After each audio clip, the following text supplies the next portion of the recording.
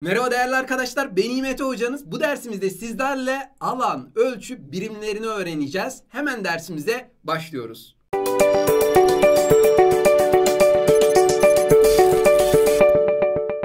Şimdi ilk olarak arkadaşlar alan ölçü birimlerindeki dönüşümü keşfedeceğimiz bir sayfadayız. Çok önemli. Şimdi burada bir tane kare görüyoruz. Bu karenin alanı bulunurken kenar uzunluklarını çarpıyorduk değil mi? 2 santimle 2 santimi çarpıyoruz. Bu karenin alanı 2 çarpı 2'den 4. Hocam ne kadar kolay ya falan diyorsunuz değil mi? Evet. İşte kolay olduğunu anlatmaya çalışıyorum arkadaşlar. Bu kolayı anlarsak, basiti anlarsak bundan sonraki süreçte daha iyi bir şekilde öğrenmiş olacağız. Şimdi burası 2 santimdi. Peki o 2 santimlerden bakalım burada kaç tane var? 1, 2, 3, 4, 5, 6, 7, 8, 9, 10 tane var. O zaman burası 2 çarpı 10'dan 20 santimetre. Bir diğer deyişle biz bunu desimetreye de çevirebiliriz aslında. Neden? Uzunluk ölçü birimlerini hatırlayalım arkadaşlar. Böyle bir tekerlememiz vardı 5. sınıfta. Kamile hanım damda, Mehmet dayım camda, merhaba merhaba. Uzunluk ölçü birimlerimiz böyleydi. Onu kullanacağız işte alan ölçüde de. Şimdi değerli arkadaşlar o zaman santimetreden desimetreye bir adım çıktığımız için uzunluk ölçü birimlerinde ne yapıyorduk? Bir, bir defa ona bölüyorduk değil mi yukarı çıktığımızda? Hani şey gibi düşünün demiştim. Füze yukarı doğru çıkarken parçalarını bıraka bıraka gidiyor. O yüzden böyle bölüyoruz diye düşünebilirsiniz. E o zaman arkadaşlar 20 e, santimetreyi ona böldüğümüzde aslında buranın 2 desimetre olduğunu görüyoruz. Aynı şekilde şuraya geldiğimizde yine o ikişer santimlerden 10 tane olduğu için buranın 20 santimetre olduğunu görüyoruz. Bir diğer deyişle aslında 2 desimetredir. Şimdi bu alanı bulurken bakın burada bir tanesinin alanı 4 santimetre kare. Bunları tek tek sayacak değiliz. Ne yapıyorduk? 20 ile 20'yi çarpıyoruz.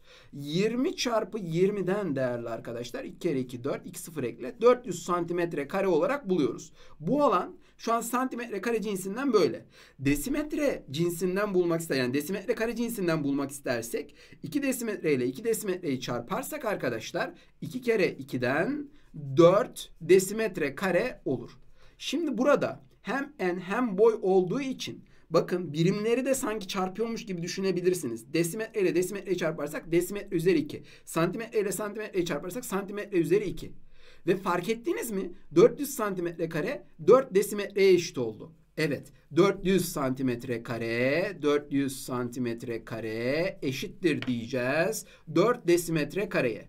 Buradan aslında şunu görmenizi istiyorum. Biz alan ölçülerine geçtiğimizde değerli arkadaşlar şöyle üzerlerine 2 yazacağız ve her adımda yüzer yüzer büyüyüp küçülecek. Yani yukarı doğru çıkarken her adımda 100'e böleceğiz. Aşağıya doğru inerken her adımda 100 ile çarpacağız. Gerçekten bakın şu an 400 santimetre kareden desimetre kareye geçiş yaptığımızda 100'e böldük. 4 desimetre kareyi elde ettik. Şu an neden yüzer yüzer büyüyüp küçüldüğünü tam anlamıyla anlamışsınızdır diye düşünüyorum. Şimdi alan ölçü birimlerine geldik ama burada size şunu söylemek istiyorum. Burada ondalık gösterimlerle çarpma, bölme işlemleri arkadaşlar iyi bir şekilde kullanmamız gerekiyor. Yani o becerimizin gelişmiş olması gerekiyor. Eğer takılıyorsak, eğer unuttuysak ondalık gösterimlerle çarpma, bölme videolarımızı mutlaka izleyin, tekrar edin. Çünkü burada sıklıkla kullanıyoruz arkadaşlar. Şimdi o birimleri uzun uzun yazdım. Kilometre kare, hektometre kare, dekametre kare, metre kare, desimetre kare, santimetre kare, milimetre kare.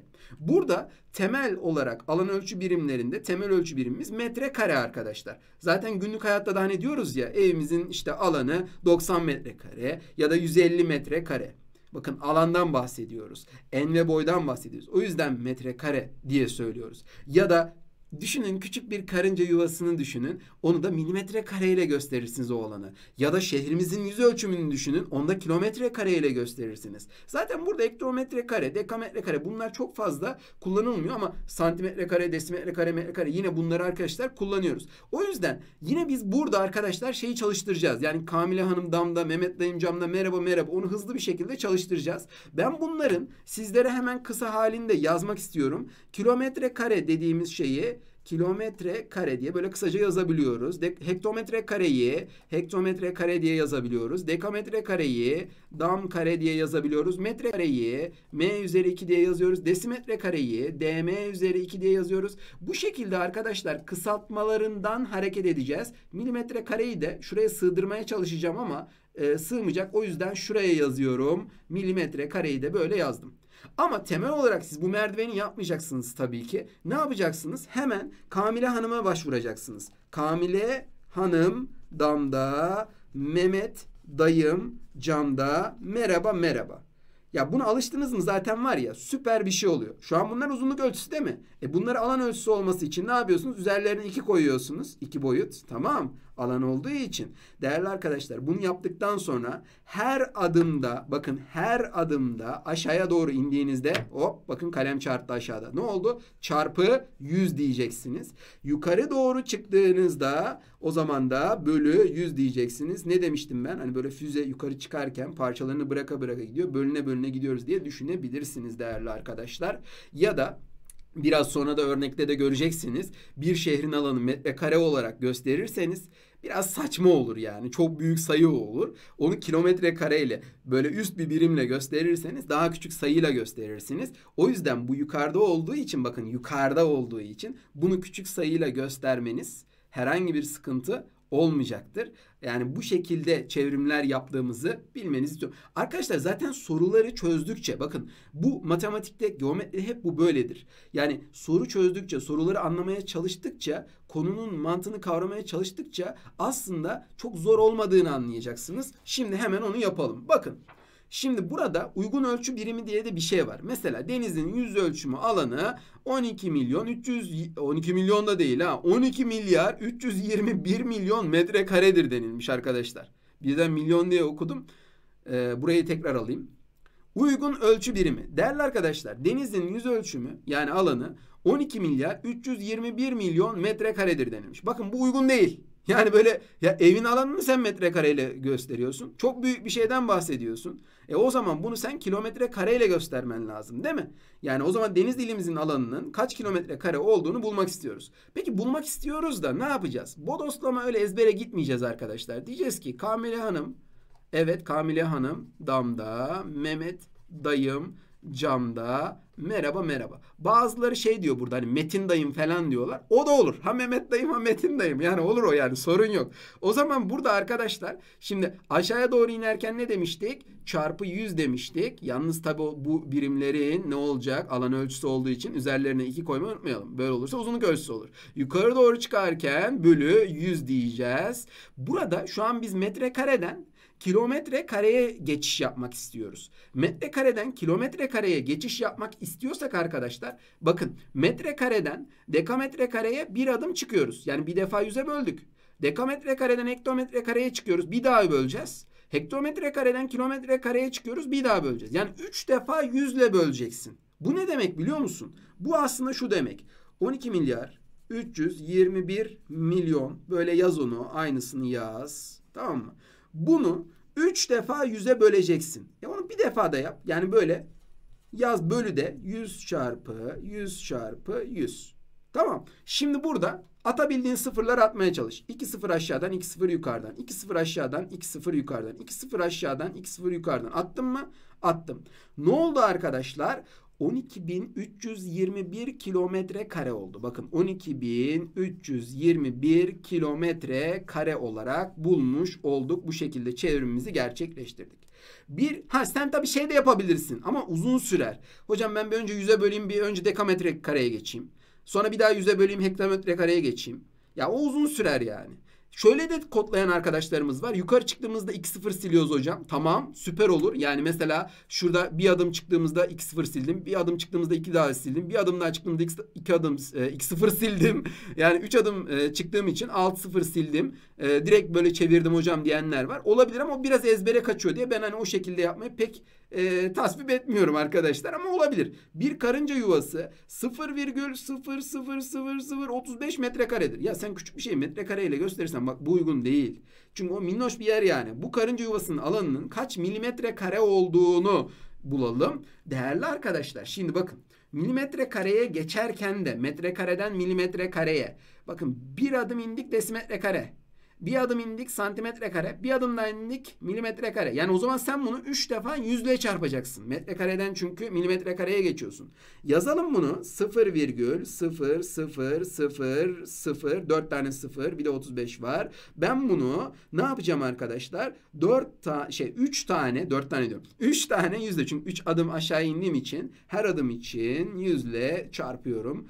Ee, şöyle çarpıyı çarpı şeklinde yaptım. Buraya 100 diyeyim. Nokta şeklinde de yapabiliriz çarpıyı yani. Şimdi burada e, işte onluluk gösterimlerde dedim ya.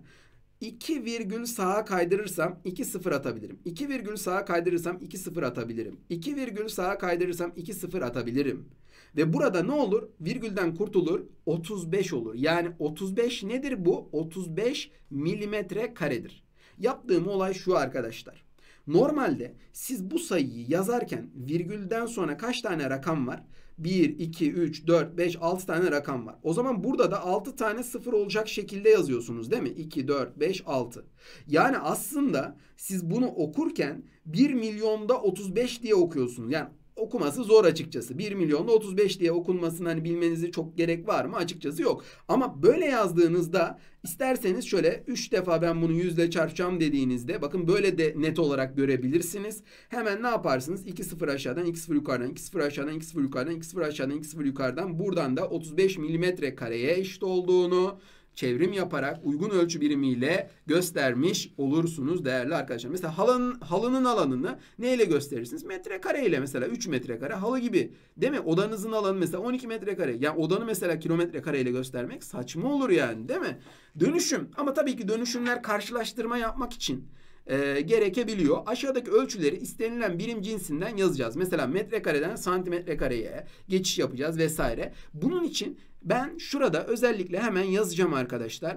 Ki, kilometre kare yani hemen Kamile Hanım damda, Mehmet dayım camda, merhaba merhaba. Bunlar alan ölçüsü olduğu için üzerlerine hemen iki koyuyorum. Koydum 2'yi ve böyle olduğunda da ne yapacağımı biliyorum. Aşağıya inerken çarpı 100 yukarı çıkarken bölü 100 olduğunu biliyorum arkadaşlar. Hatta onu tam görünmeyecek şöyle yapayım bölü 100 diye böyle yazayım. Şimdi 5 metrekareden santimetre kareye gidiyoruz. Metrekareden santimetre kareye indiğimiz için bakın bir adımda desimetre kare indik. Bir adım daha santimetre kare, iki adımda indik. O zaman iki defa yüzle çarpmalıyız arkadaşlar. İki defa yüzle çarptığınızda 5 çarpı 100 çarpı 100. Aslında bunun yanına 4 sıfır ekleyeceksin. 4 sıfır eklediğinde ne olur? Yazalım onu. 4 sıfır eklediğinde şöyle 50 bin santimetre kare olur. O zaman 5 metrekare 50 bin santimetre kare olmalıdır diye böyle çevrimi rahatlıkla yapmış olacağız. Milimetre kareden metre kareye çevirmek istiyoruz arkadaşlar. Milimetre kareden metre kareye çıkarken bakın 1, 2, 3 adımda çıkıyoruz. O zaman ben bunu 3 defa 100'e bölmeliyim. 600 bini değerli arkadaşlar 3 defa 100'e bölüyorsam şöyle yazmanızı tavsiye ederim. 3 tane 100'ü böyle bölme durumunda yazın yani. O zaman hemen 2 0 aşağıdan 2 0 yukarıdan 2 0 aşağıdan 2 0 yukarıdan attım. 1 0 aşağıdan 1 0 yukarıdan attım. Artık 0 atamıyorum. Son hali ne oldu? 10'da 6 oldu. Biz bunu işte nasıl yazabiliyorduk ondalık gösterimde? 10'da 6'yı 0,6 diye yazabiliyorduk arkadaşlar. O yüzden ne yapacaksınız? Böyle 0,6 metre kare diye çevriminizi yapmış olacaksınız. Şimdi işte demek istediğim olay ondalık gösterimleri burada iyi bir şekilde uygulayabiliyor olmamız gerekiyor. 6,01 santimetre kare yani 6 tam yüzde bir santimetre kare kaç milimetre karedir? Şimdi santimetre kareden milimetre kareye bir adımda iniyoruz. Bakın şuradan görebiliriz santimetre kareden milimetre kare bir adımda iniyoruz. Bir defa yüzde çarpacağız. E bu 6 tam yüzde bir dediğiniz şeyi aslında şöyle yazamaz mısınız? 601 bölü 100 böyle yazabilirsiniz. 6 tam yüzde biri böyle yazabilirsiniz. Hatta bakın şöyle yazın önce 6 tam yüzde bir. 6 çarpı 100 600. Bir daha 601 bölü 100. Böyle yazdım. Ben bunu ne yapacağım arkadaşlar? 601 bölü 100'ü bir defa aşağıya indiğim için bir kere yüzde çarpacağım. Aşağı inerken her adımda yüzde çarpıyorum. E o zaman ne olacak? 2 sıfır aşağıdan 2 sıfır yukarıdan gidecek. 601 601 milimetre kare olarak çevirmiş olacağım. Peki milimetre kareden santimetre kareye nasıl çevireceğiz hocam? Bir adım yukarı çıktığımız için bir defa 100'e bölmemiz yeterli. O da 89 bölü 100 demek. Yani yüzde 89. E tam kısmında olmadığı için 0 tam yüzde 89 santimetre kare diye bu şekilde arkadaşlar yazabiliriz. Bu şekilde dönüşümlerimizi yapabiliriz. Arkadaşlar bitirdik. Siz de bunlarla ilgili pekiştirici sorular çözmeyi ihmal etmeyin. Konu anlatımı olarak gördüğünüz gibi bu. Yani bunun dışında kazanımın e, bilmeniz gereken şeyleri bunlar. Ama tabii ki pekiştirici, temel orta tarzda sorular ve yeni nesil beceri temelli sorular çözmek için İMT Hoca 6. sınıf matematik soru bankası kitabımızdan arkadaşlar sayfa 157-161'i yapmaya başlayabilirsiniz. Arazi ölçü birimleri hocam unuttunuz diyorsunuz belki. Hayır arazi ölçü birimlerini bu videoyu daha da uzatmamak adına ayrı bundan sonraki videoda e, anlatacağım. E, bunu da söyleyeyim. Videolarımızı beğenmeyi, yorum yapmayı, kanalımıza abone olmayı ihmal etmeyin. Bir dahaki videoda görüşünceye kadar da kendinize çok iyi bakın. Hoşçakalın.